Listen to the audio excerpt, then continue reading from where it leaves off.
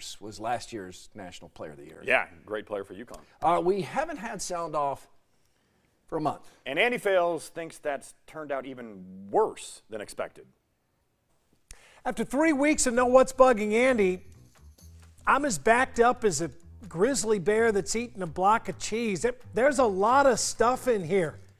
But I can't move on until I address the thing that's got us all so backed up to begin with the Olympics that we just witnessed, or that some of us witnessed.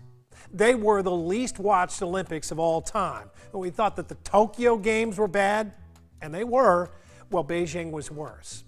While it's hard to figure out just what the ever evolving American television audience wants to watch, it's not hard to figure out why it didn't want to watch these Olympics.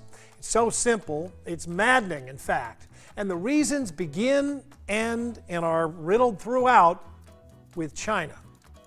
These games were strangled and sterilized by COVID. And although no games held this winter could have been free from COVID protocols, the fact that they were being applied to the 10th degree by the country where the virus started made things worse.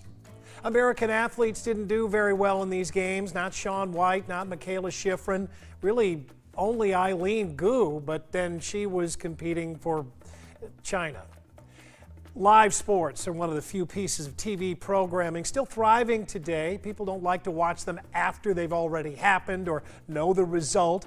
But all that goes out the window when the Olympics are held way over in Tokyo or Pyongyang or Sydney or China. And finally, the Olympics are supposed to be a chance for a country to shine, to show off its people. Well, we don't like what China has done to its people. China is not popular with planet Earth these days. We don't want to cheer for it or even in it, at least not right now. The single best reason I heard for these games to be held in China was that it wouldn't be fair for the athletes to cancel them.